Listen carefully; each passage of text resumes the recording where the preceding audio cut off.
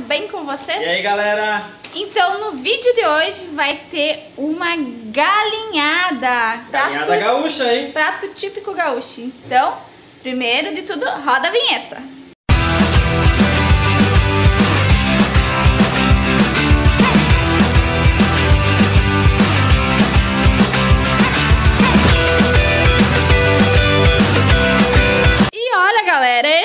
Dois abençoados aqui vão ter o privilégio hoje de comer a galinhada do Darlan.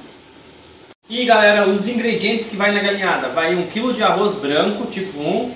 Vai a quantidade de galinha para... Hoje temos 10 pessoas que vão fazer a refeição com a gente. Então vai um quilo de arroz, 2 quilos de frango, coxa sobre coxa ou só sobre coxa. No caso de hoje é só sobre coxa. E 3 tomates, duas cebolas médias e 5 dentes de alho. Então, galera, uma dica para você é triturar no liquidificador ou processador os temperos. E daí o pessoal que é enjoado, que não gosta disso e daquilo, nem vai saber que tem. E isso vai dar um gosto. Tempero é o segredo da galinhada gaúcha. Então, cebola, tomate, alho. Se quiser pode botar um pimentão, nesse caso de hoje não tem. E o molho vai ficar assim, ó, quase igual um molho comprado. A gente vai ferver bem ele. Depois vai botar a galinha que já está frita aqui. E depois bota o arroz, dá uma fritadinha no arroz e depois vem a água.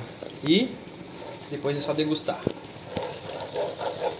de, série de hospital, essas coisas, eu não gosto. Ah, mas ali tem tempero.